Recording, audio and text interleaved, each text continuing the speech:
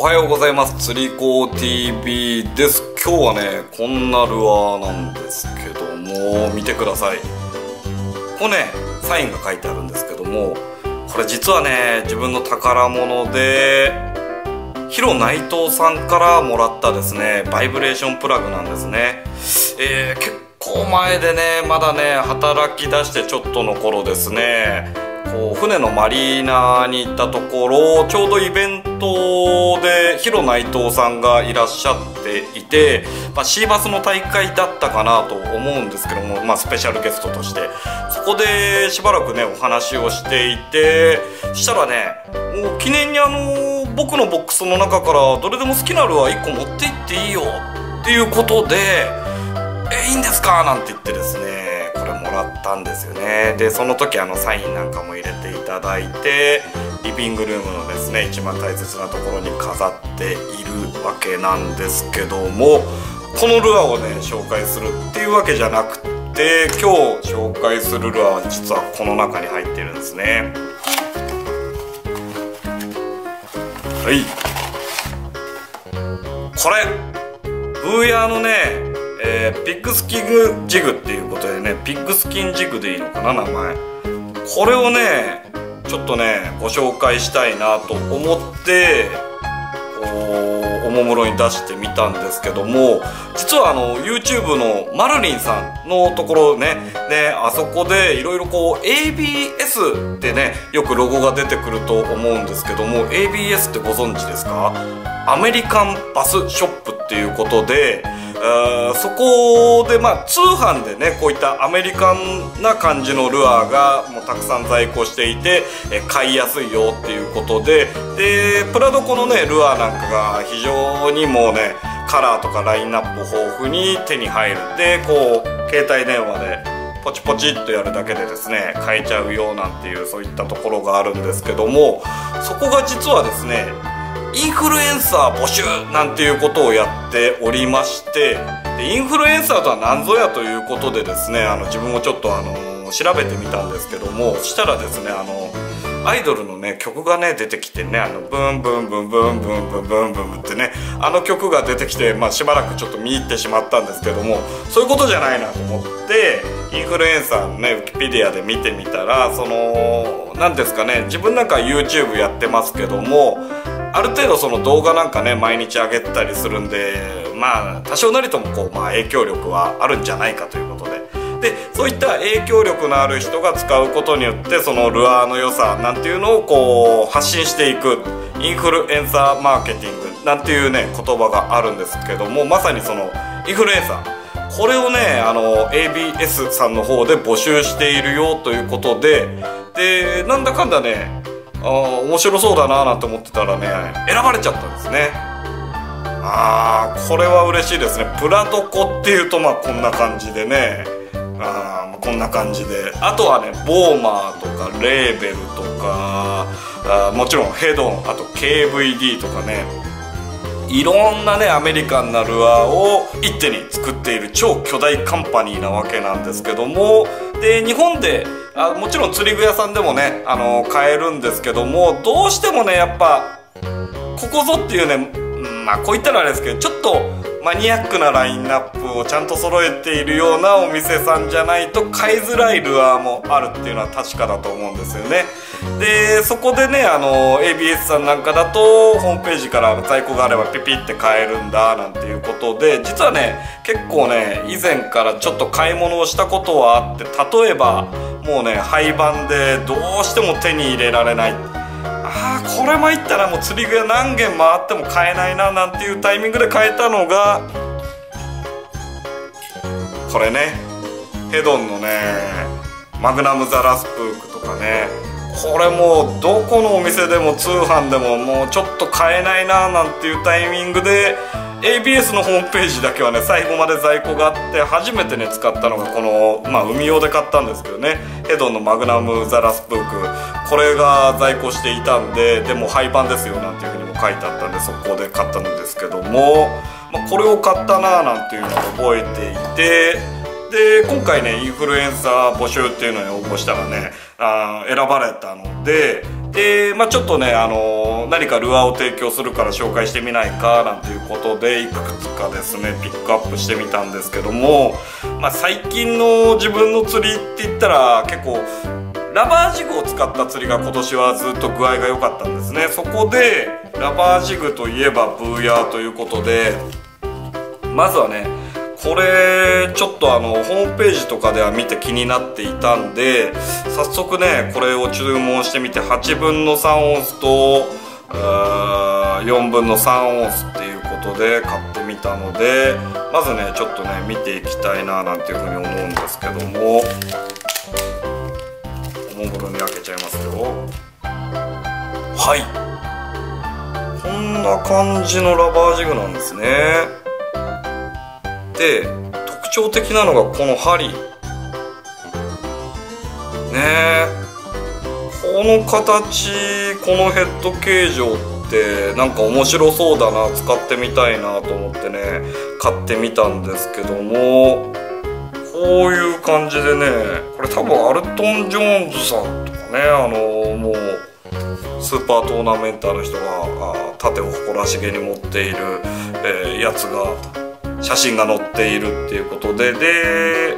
あーヤムのチャンクとかそういうのをつけたらぴったりだぜとかこれ多分黒まあチャンクアームがついてるのかな。チャンクアームをピッてねボディが多分短めのアームだと思うんですけれどもそういったのをつけてで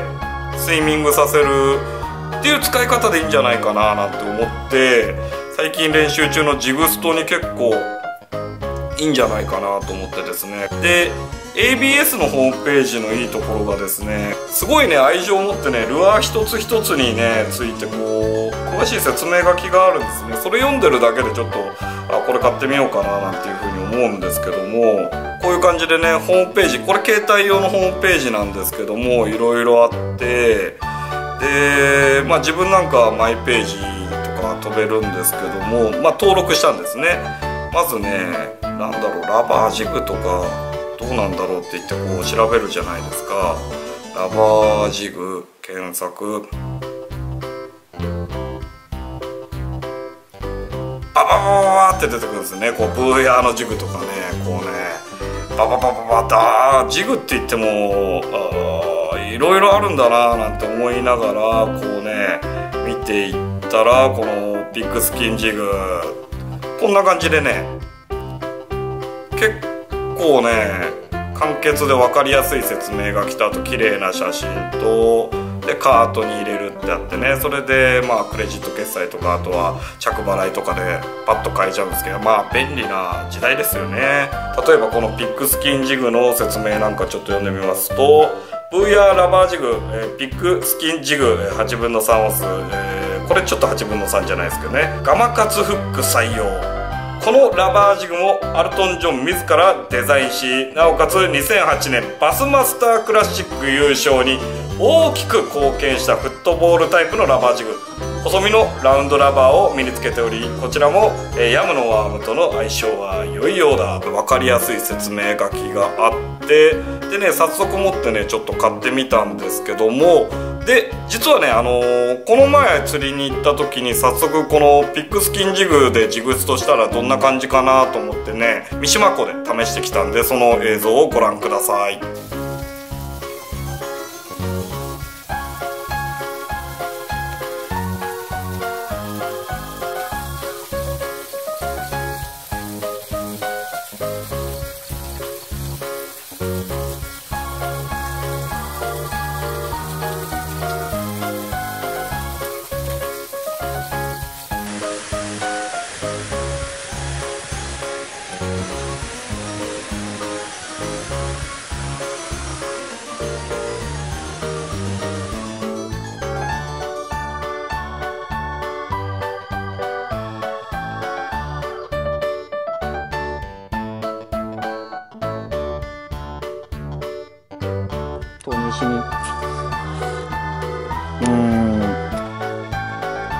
まり奥にこだわる必要は確かにないのかもしれないな。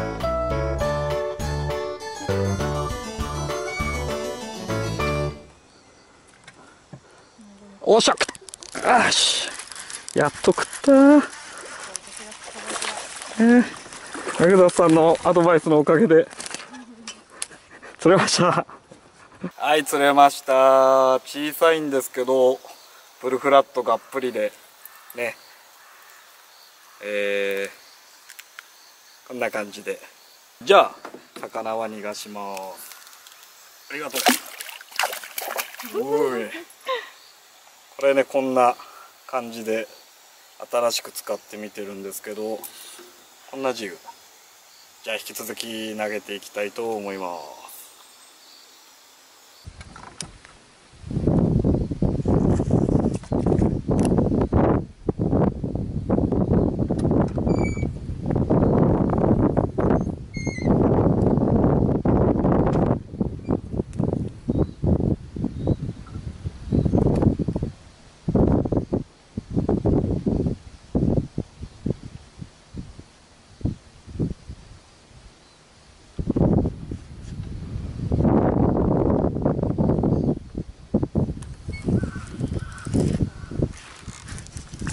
おお魚だった。やよいしょ。はい。ようやくでちょっと長いサイズ釣れてくれました。とねこのラバージグで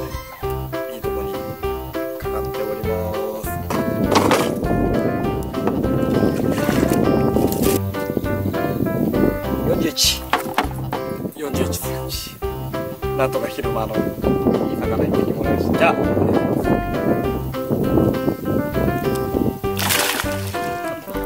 はい帰ってきました。ということでねあのー、早速結構いいあの台風のねあれね2日後ぐらいってもうね全域どちゃ濁りになっちゃってね何も見えなくてわけわかんなくなっちゃったんですけども結果ねこれで2匹だけなんとか釣れたその他ねノーシンカーの釣りとかプラグの釣りとかあとはトップウォーターとかですね。いろいろ試したんですけども俺もね全然見失っちゃって釣れなくてこれどうしようかなって。その他にね買ったねもうちょっとごついラバージグなんかもね試したんですけども全然反応当たり出せなくて派手な割にちょっと繊細な感じもあるしどうかなと思ってこれにで得意のブルフラットをね装着して投げたところようやく当たりが出てね。で結構苦戦したんですけども2匹のみ。ね。ビッグスピンジグのみで、え、釣れたんで非常にねいきなりお気に入りになっちゃいました。で、まあ、なかなかね釣り具屋でポロってね並んでることは少ないかなと思うので欲しいななんて思った場合はですねその ABS のホームページに行けばこのピックスキンジグってラバージグとかで検索するとちょっと下に行くとありますんでね、えー、すぐ見つけられるんじゃないかなと思いますけど説明欄にも一応リンク先なんか、えー、貼っておきますがこれね。でまあ使ってみた感じね暴走リザーバーでどうかなっていうことで使って、まあ、実際に釣れたんですけどもちょっとね、あのー、苦手だなと思ったところは結構ね繊細なガードなんですよね。これごつそうに見えるんですけどもちょっと柔らかめ。ちょっとだけ柔らかめのガードなんですよ。だもんであのー、立ち木とかブッシュのすっごいごちゃごちゃしたところに入れるとたまにね絶妙なこのバランスで作られているからちょっと針先拾っちゃうかなって感じました。あ吊るしの状態で使うとまあリザーバーで使うんだったらもうフラットエリアで比較的障害物がないところでこうベイトを追いかけ回してるバスの場所が特定できてる時にフラットエリアの中層スイミングで魚を誘うにはこのでっかい針もあるしね一回食ったらこれはなかなかかかりやすいんじゃないかなっていうことでそういうタイミングで使うものなのかなって感じました。結構ねなくなりはしなかったんですけどもボートで取りに行けたりするんで全部回収はできたんですけども若干ね障害物カバーとかに入れ込んで使う場合だと気持ちガードが柔らかいかなって自分は感じました。ただそれによってあの微妙な状況なのに2匹かけることができて無事船に上げることができたっていうのもあるんで本当ね一長一短だと思うんですけどね。あとは人の好みによっても違うと思うんでただこのガマカツのねギャンギャンに鋭いこの特殊形状な針これを持っていてでワームキーパー部はねこう短いんで今回はねあのブルフラットのボリューム感のあるワームで魚に気づかしたいっていうのがあったんでワームねファイナルキーパーとかあ違う。ちょっとキーパーシステムとか考えてブルフラットをくっつけたんですけどもチャンクとかねちょっとボディが小さくてバタンバタンするねルアーをつけた方があとはクローワームとかねボディスンズ張りのクローワームとか手大きめのワームつけたりする時にはいいんじゃないかなって、え感じました。ちょっとあんまりボリューミーなワームをつけるとそのワームを保持する部分がちょっと、えー少なめなんでワームがちょっとちぎれやすいんじゃないかなと思いました。あ例えばそうですねポークワームをちょんとねちょんとかけてビランビランって動かしたりするのにはもう絶好のフック形状じゃないかななんて思うんですけどもでもまだ何にしてもね2匹しか釣ってないんでこの後さらにね使い込んでみてあとまだねあ2個3個あとねもう1個あるんで、えー3個あるんでねちょっとねさらにこれから秋の時期の餌を追いかけ回すバスに向けてスイミング気味で、えージグストで、えー魚を狙う時そんな時にねこの使ってみようかななんていう風に思います。投げてる感じはすごい気持ちいい。でアメリカンなルアーなんだけどももうねガマカツのスーパーフックが搭載されているんでなんか向こうの針って大丈夫なの？なんていうイメージがある人もすぐに気に入ってもらえるんじゃないかななんていう風に感じます。というわけでまあ今回ねこのインフルエンサーっていうことでまだねあのーずっとインフルエンサーね第2次第3次ってね募集してるみたいなんで自分とかに与えられたのは今年のまあ12月までねあのタイミングがあったらアメリカンなるはちょっと紹介してくれよなんていう感じでですねお話いただいたので、えーまあいろんな得意なやつから今まで使ったことない不得意な、えルアーまでいろいろねアメリカンなルアーも今後は紹介していけたらななんていうふうに思います。まあバス釣り始めた時はねこういったちょっと本当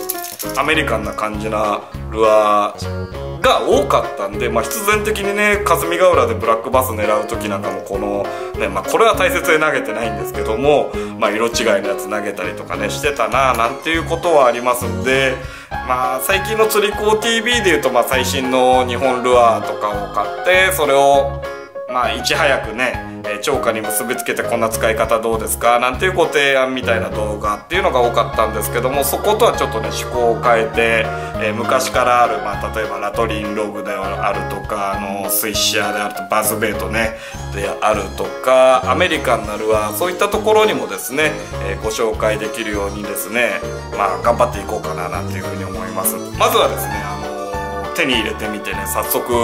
えー超過が出たよなんていうことでこのブーヤーのね、えージグ、えー実調動画も交えてですねご紹介してみましたが、えー気になる方はですね、まあ、説明欄にいろいろな情報を載せておきますのでぜひ、えーそちらの方もご覧いただければと思います。またですね、えーマルリンさんのところに Twitter とかいろいろねつながったり調べたりするとそのインフルエンサー募集についてもですね詳しく、えー書いてありますんで我こそはもうアメリカンルアーなら任しとけね。